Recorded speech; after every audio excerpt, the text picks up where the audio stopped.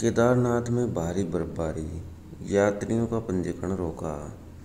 कपाट खुलने से पहले केदारनाथ में हो रही भारी बर्फबारी ने मुश्किलें पैदा कर दी हैं।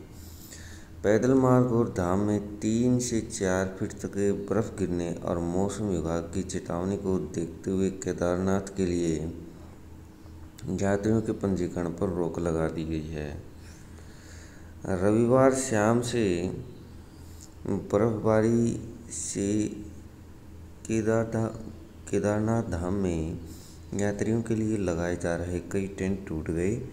न्यूनतम तापमान माइनस एक डिग्री तक पहुँच गया।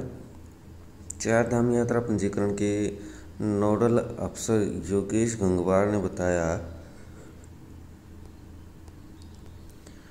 कि ऋषिकेश व हरिद्वार के ऑफलाइन पंजीकरण केंद्रों पर केदारनाथ के लिए नए पंजीकरणों पर रोक लगा दी गई है। पंजीकरण पर रोक की सूचना वेबसाइट पर दर्ज करा दी गई है। पहले पंजीकरण करवाने वाले दर्शन कर सकेंगे। गंगवार ने कहा कि 25 से 30 अप्रैल के बीच दर्शन करने के लिए नए पंजीकरण नहीं होंगे। अन्य धामों के लिए पंजीकरण जारी हैं। 25 से 30 अप्रैल के बीच सिर्फ़ वही लोग दर्शन कर सकेंगे जिनका पूर्व में पंजीकरण हो चुका है। बूंदाबांदी के बाद चार डिग्री पारा लुढ़क गया।